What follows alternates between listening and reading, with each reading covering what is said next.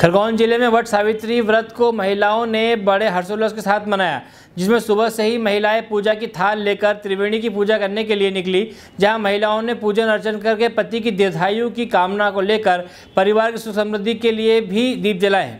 हम आपको बता दें कि प्राचीन काल से चली आ रही परंपरा का नारी शक्ति ने निर्वहन किया है और सुख समृद्धि की कामना की है। इस दौरान महिलाओं ने बताया कि आज के दिन ही सावित्री ने यमराज को हरा कर अपने पति सत्यवान के प्राणों की रक्षा की थी। उसी तर्ज पर परंपरा निर्वहन के लिए उन्होंने पूजन अर्चन किया है। खरगोन से जयंत गुप्ता की रिपोर्ट। हेलो फ्रेंड्स आप देख रहे हैं हमारा channel S W twenty four news हमारे सारे वीडियो सबसे पहले देखने के लिए आप हमारे चैनल को सब्सक्राइब करें और पास में लगे बेल आइकन को दबाना बिल्कुल भी ना भूलें।